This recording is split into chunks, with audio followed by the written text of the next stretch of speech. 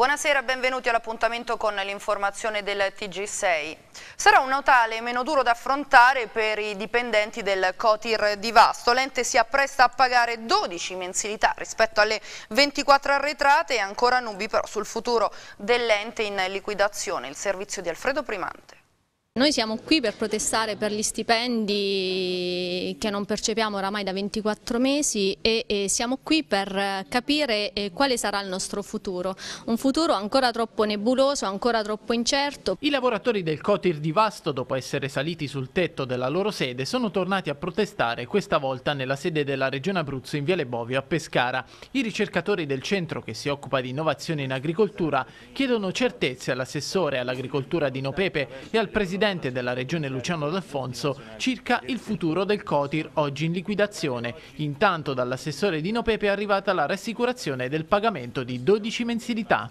Ieri abbiamo eseguito il primo bonifico di 150.000 euro e oggi seguiranno altri 320.000 euro a favore del Cotir.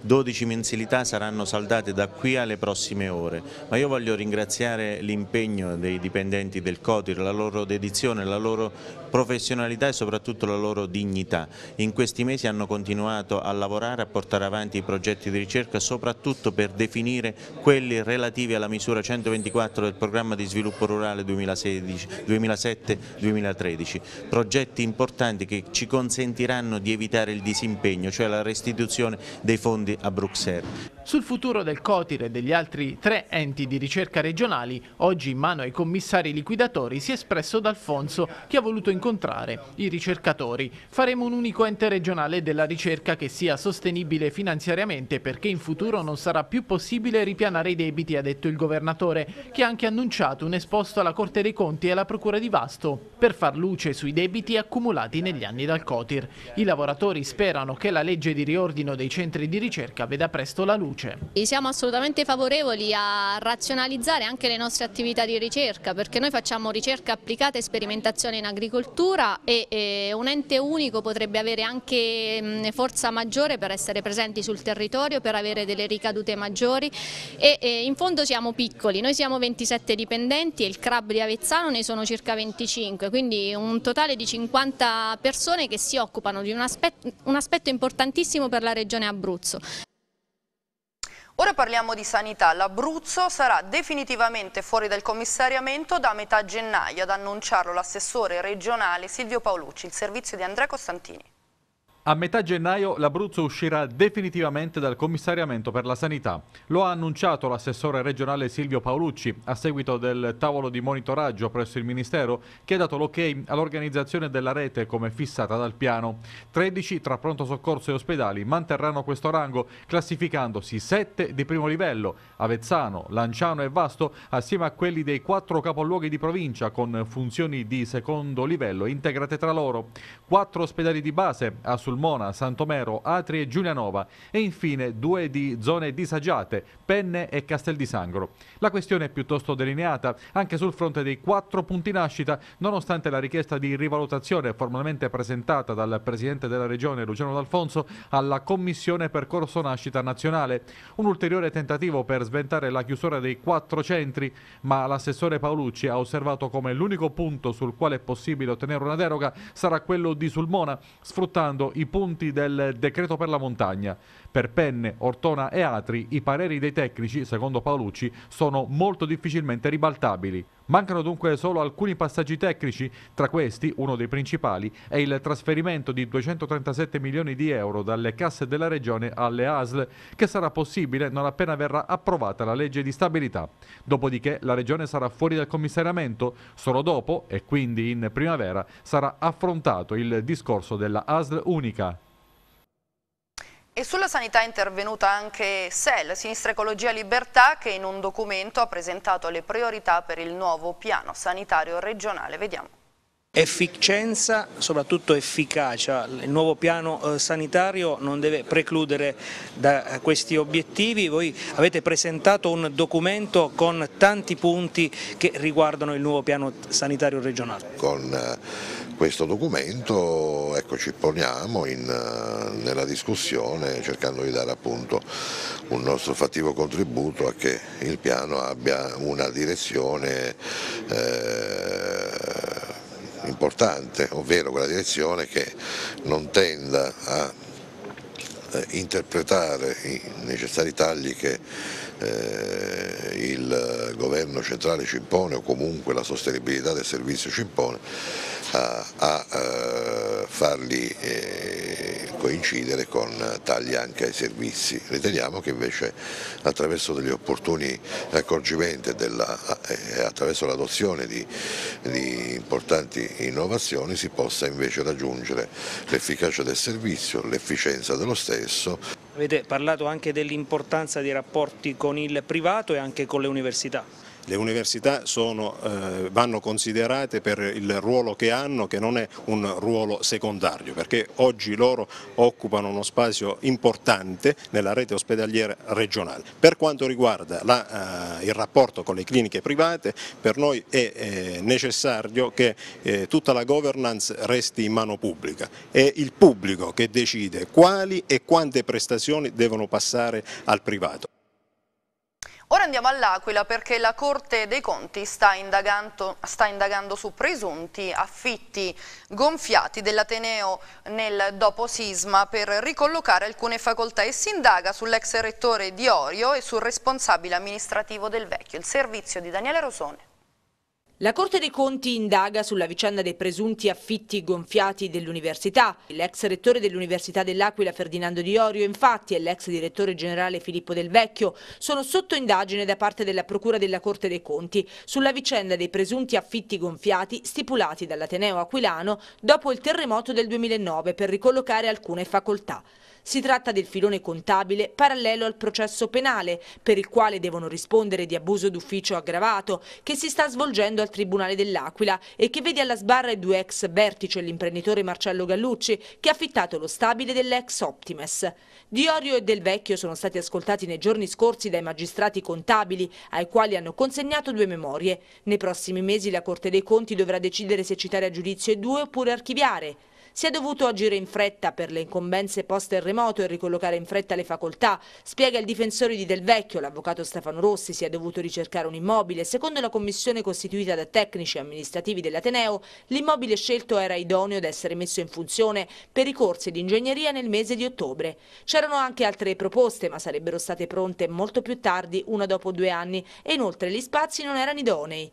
L'avvocato rivela che secondo quanto si è appreso la Corte dei Conti ha accettato il problema dei canoni, Resta da chiarire se è stato congruo l'onere sostenuto dall'università rispetto ai lavori di adeguamento. In tal senso, Del Vecchio ha chiarito ai magistrati, spiega ancora Rossi, di aver interrotto i pagamenti una volta toccata la somma che l'ufficio tecnico ha ritenuto congrua per le esigenze dell'università.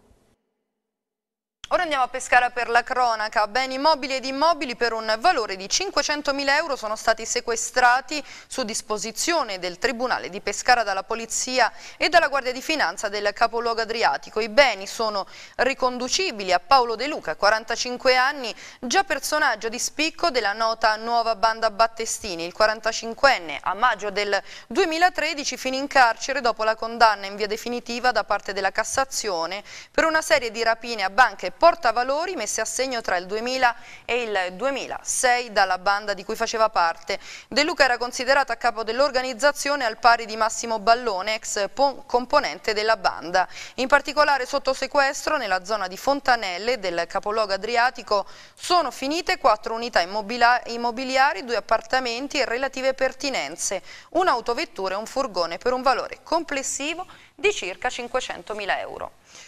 Il porto canale bloccato e Ponte del Mare chiuso a Pescara per l'esercitazione di protezione civile antiterrorismo che si è svolta nel corso della mattinata. Bloccate per alcune ore le attività commerciali all'interno della banchina sud dello scalo adriatico.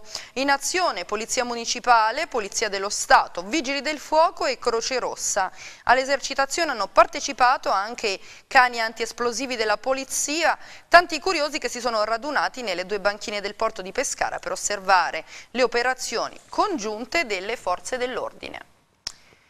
Andiamo a Teramo, la mozione di sfiducia al Presidente del Consiglio Comunale di Teramo, Milton Di Sabatino, presentata dalla consigliera dell'opposizione del gruppo misto Paola Cardelli, non passa.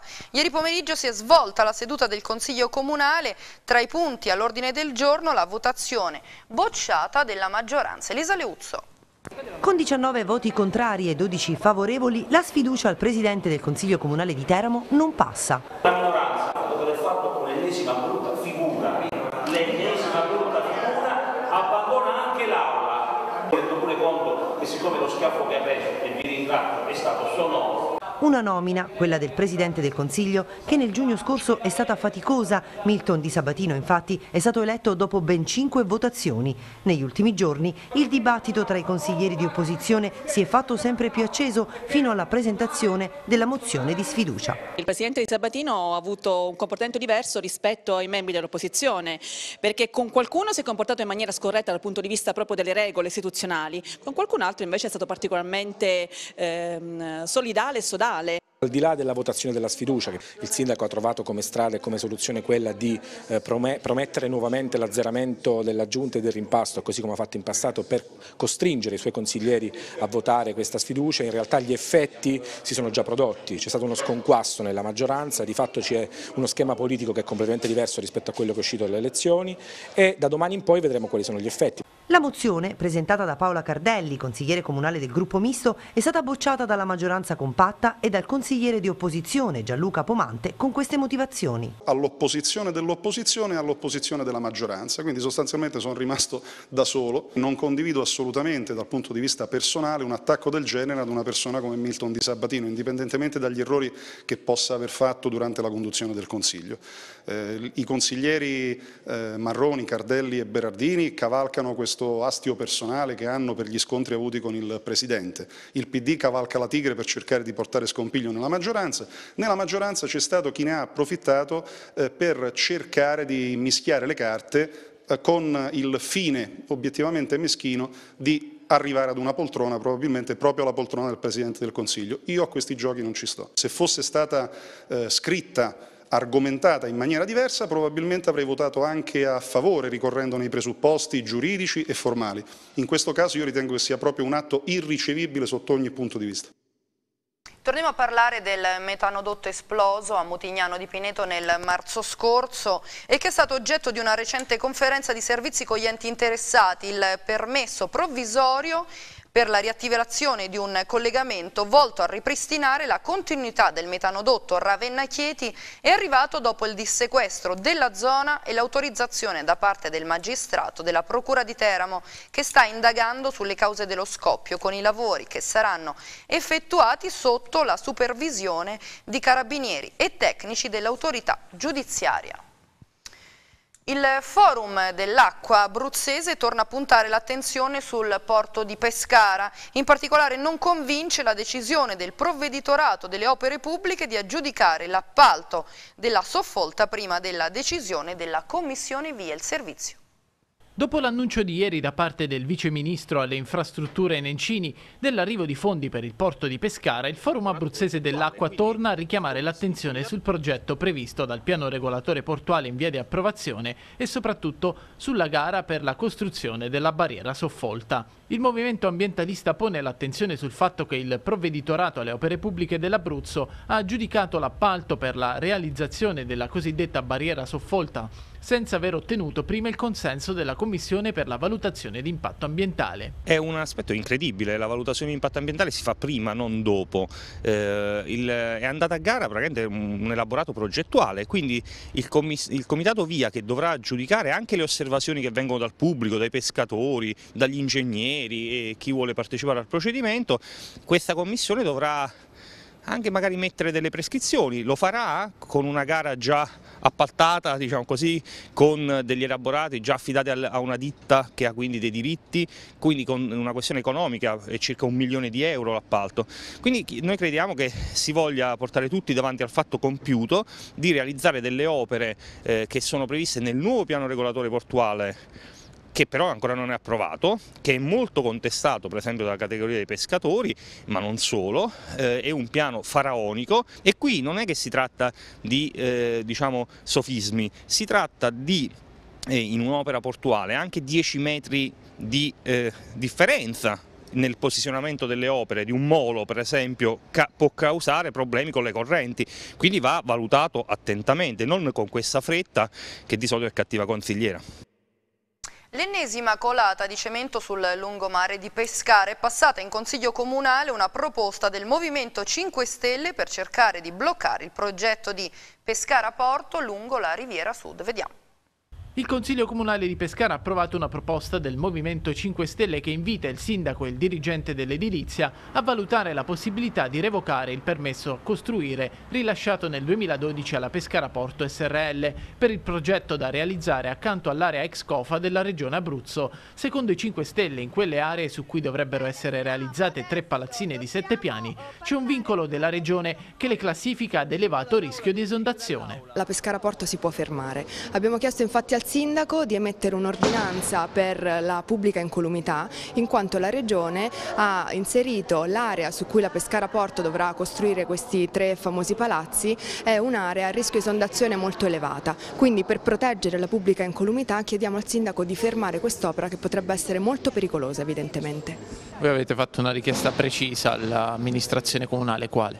Sì, noi abbiamo chiesto appunto al Sindaco di emettere questa ordinanza per la pubblica incolumità e abbiamo chiesto inoltre di confrontarsi con il dirigente dell'edilizia per verificare se per sopravvenute eh, circostanze appunto al contorno e nel contesto non si possa proprio revocare del tutto il permesso di costruire.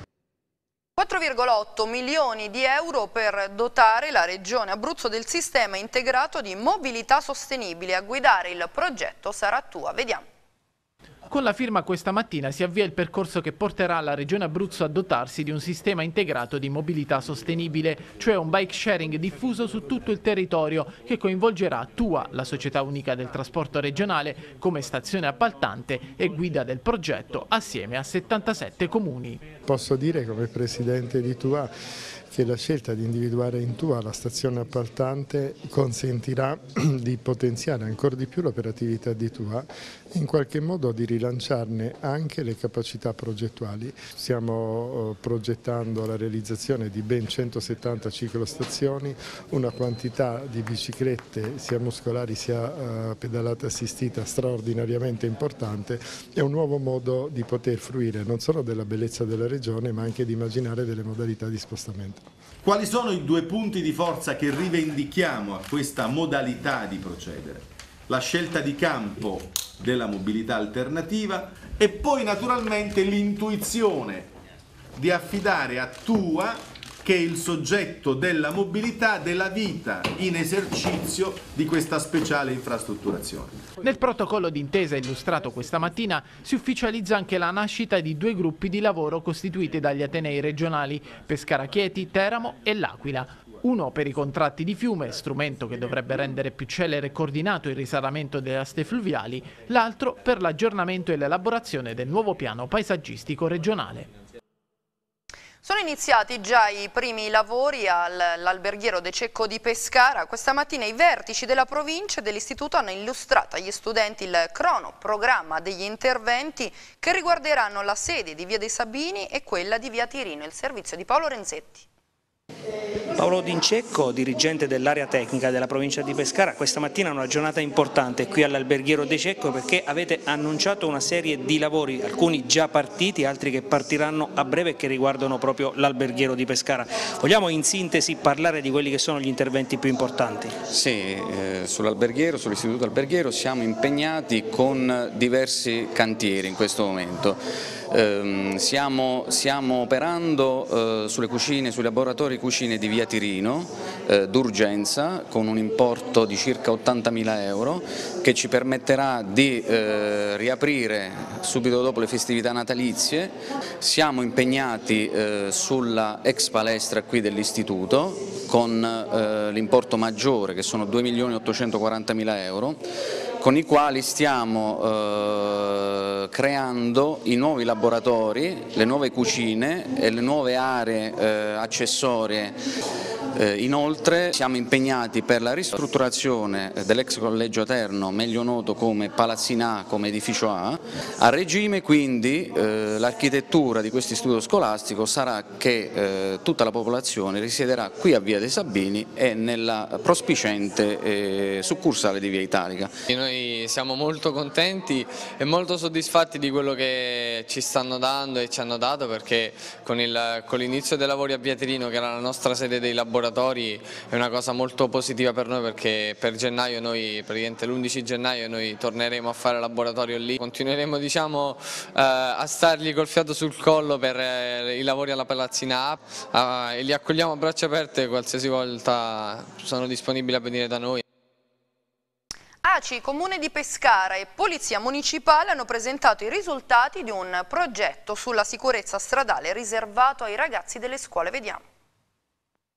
Presidente Sartorelli, parliamo di guida sicura, di sicurezza stradale, un importante progetto dell'Automobile Club di Pescara con i ragazzi delle scuole. Chi ci ha proposto questo evento ci ha coinvolto in un qualcosa di nuovo che secondo me non è mai avvenuto in Italia, cioè fare oltre alla semplice lezione nella classe con gli, con gli studenti che poi perdono di, di, attenzione dopo pochi minuti, li abbiamo voluti portare nel loro ambiente, in quello che loro frequentano il sabato sera, il venerdì sera, nella loro discoteca, quindi hanno avuto mezz'ora di ballo, fumo, eh, cubisti, cioè c'è stato di tutto.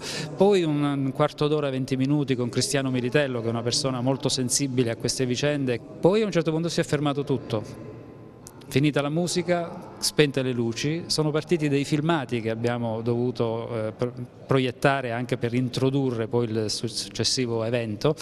E da quel momento le immagini erano un po' dure, ma eh, la cosa che poi ci ha entusiasmato, che ci rende oggi ottimisti, è che le persone che intervengono sugli incidenti, quindi vigili del fuoco, polizia municipale, 118, carabinieri, hanno raccontato la loro esperienza e quindi non erano attori, erano loro che raccontavano quello che vedevano nel momento in cui si interviene in un incidente. Le scuole che hanno partecipato, i ragazzi che hanno partecipato, sono, alcuni sono usciti anche con le lacrime, certo noi non volevamo questo, però volevamo che venisse recepito il messaggio, bisogna guidare con la testa.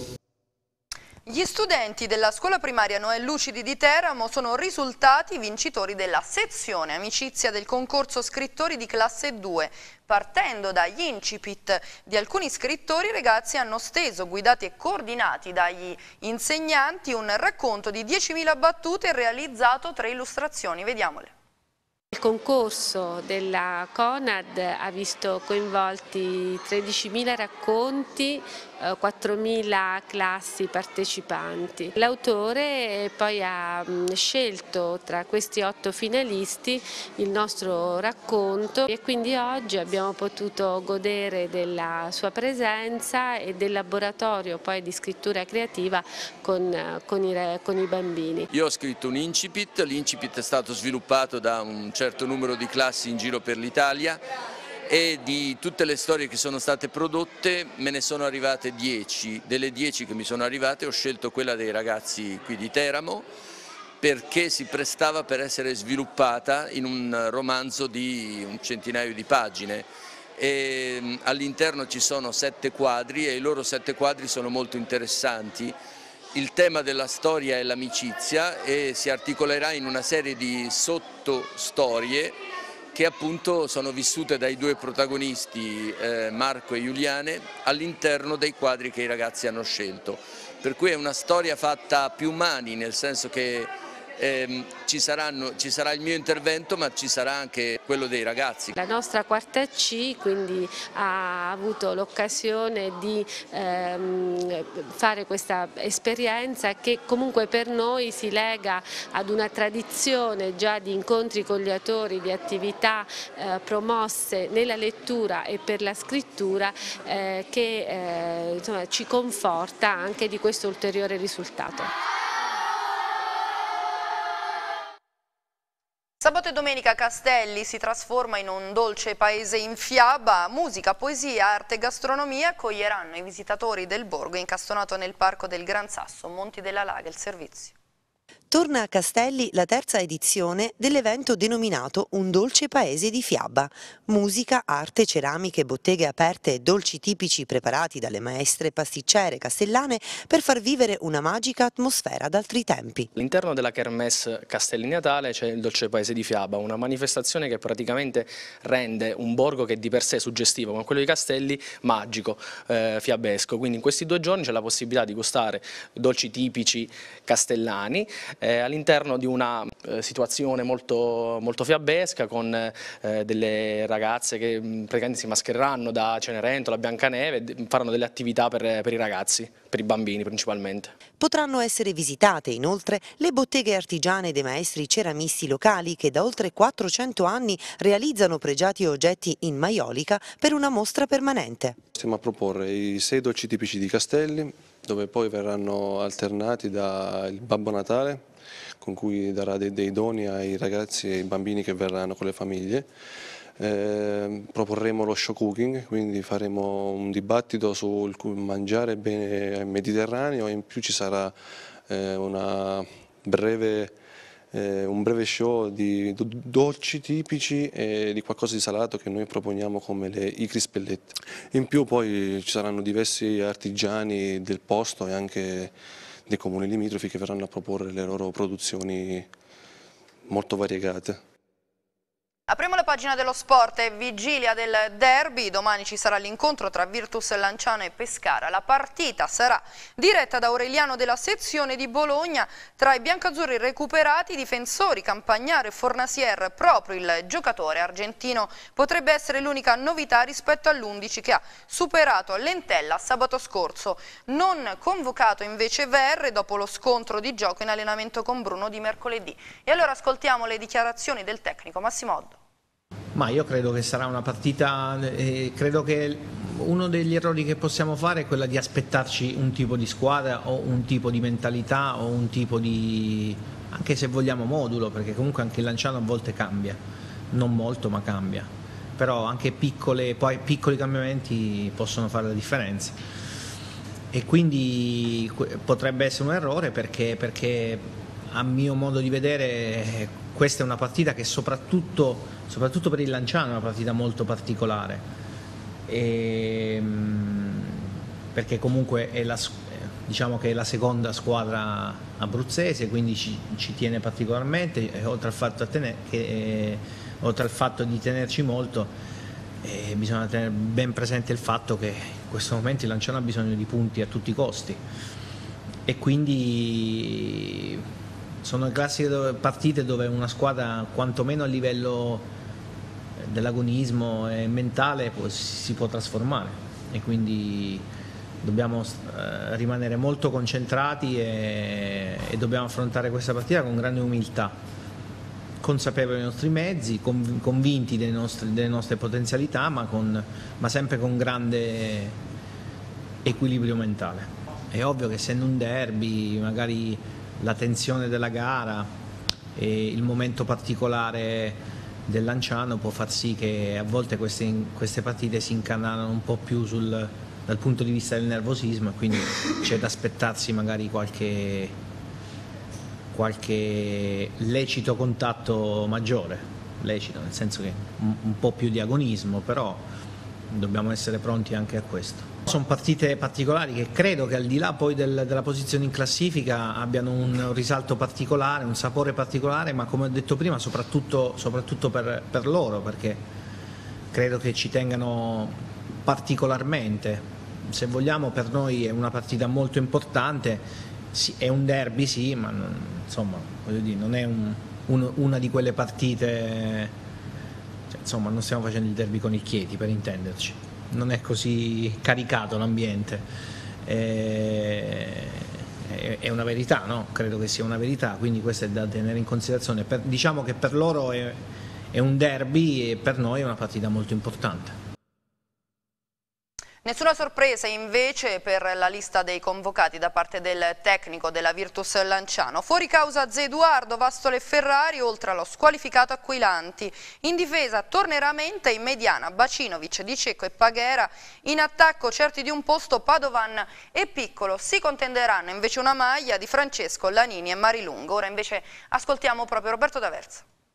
No, paura mai, c'è il massimo rispetto per la squadra avversaria perché comunque c'è una squadra che ambisce ad andare ai playoff, però eh, mai avere paura dell'avversario, sempre il massimo rispetto, ci mancherebbe altro, ma la paura non penso che non possa far parte di, di questo sport, perché comunque è una partita di calcio e va vissuta come una partita di calcio, è chiaro, in una maniera determinata, in una maniera lucida, però rimane pur sempre una partita di calcio. L'anno scorso è chiaro che era una partita diciamo, che poteva determinare il cambiamento di un obiettivo, non, non ci siamo nascosti, è chiaro che eravamo partiti per salvarci e quella partita era fondamentale per far sì che che ci desse quella spinta in più e per cercare di raggiungere un obiettivo diverso da quello che ci eravamo prefissato all'inizio dell'anno. Mancavano ancora delle partite dove purtroppo poi abbiamo perso, ma se avessimo vinto magari potevamo ambire a qualcos'altro. Mi auguro che questa partita eh, ci possa far ripartire siamo in una posizione di classifica totalmente diversa e quindi la, partita rimane importante, eh, ripeto, per la classifica soprattutto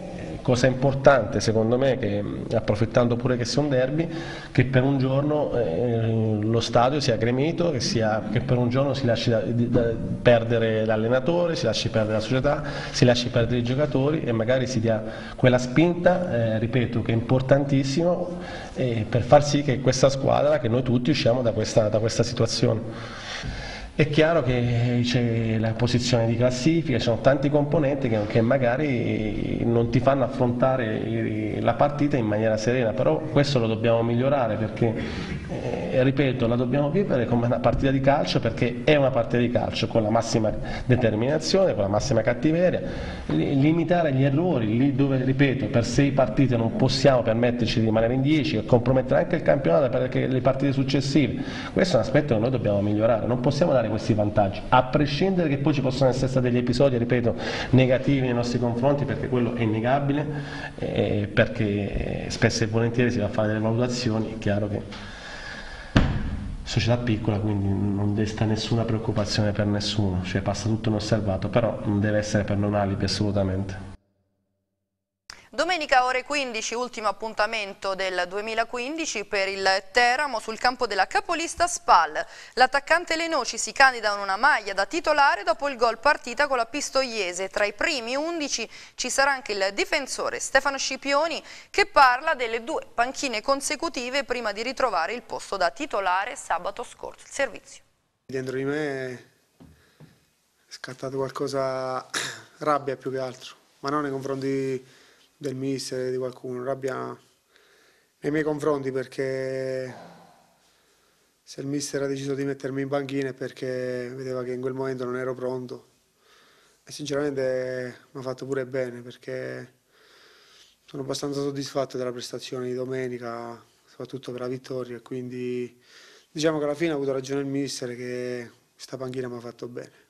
Giocando sempre, avendo sempre il posto assicurato, si perde di vista tra virgolette il lavoro che si deve fare quindi come posso dire gli stimoli come dici l'umiltà viene a mancare poi stando in banchina come Andrea non, non essendo abituato a stare in banchina diciamo sinceramente ho rosicato tantissimo ho rosicato e quindi mi ha fatto anche bene perché pure il mister in battuta mi ha detto allora ti ha fatto bene la panchina e quindi ha avuto ragione lui e alla fine è andata bene così. Domenica diciamo che sicuramente gli stimoli non mancheranno perché come dici tu affrontiamo la prima in classifica, ci teniamo a fare bene, a fare bella figura e a cercare di portare punti pure in trasferta che in questo momento è il problema principale che ci affligge.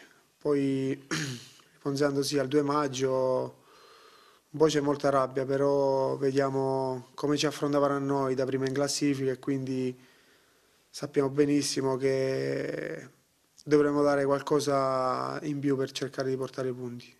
Abbiamo regalato un sogno a molte persone, poi questo sogno è stato è svanito però alla fine dal bilancio è abbastanza positivo, però molto amareggiato sinceramente.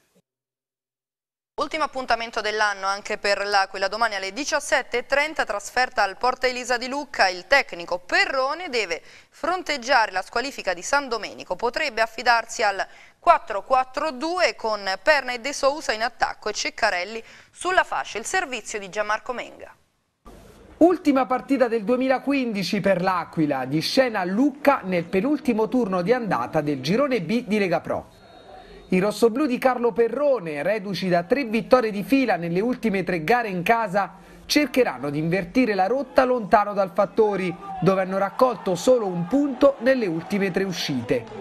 L'occasione per chiudere con il botto un 2015 in crescendo è di quelle da non fallire, soprattutto perché il match contro la Lucchese sarà un vero e proprio scontro diretto in ottica salvezza. Sul fronte formazione, dopo l'ipotesi 3-5-2, nelle ultime ore sono salite le quotazioni di un passaggio al 4-4-2, così da impiegare Tommaso Ceccarelli da esterno d'attacco e allo stesso tempo rimediare all'assenza forzata di Salvatore Sandomenico causa squalifica. Il centrocampo sarà completato da Manuel Mancini, da De Francesco e da Triarico sull'out di sinistra. In attacco dovrebbero partire di nuovo entrambi dall'inizio sia Raffaele Perna che il capitano Claudio De Sousa. Appuntamento alle ore 17.30 allo stadio Porta Elisa di Lucca. Il TG6 finisce qui il prossimo appuntamento con l'informazione nell'edizione delle 23. Grazie per essere stati con noi.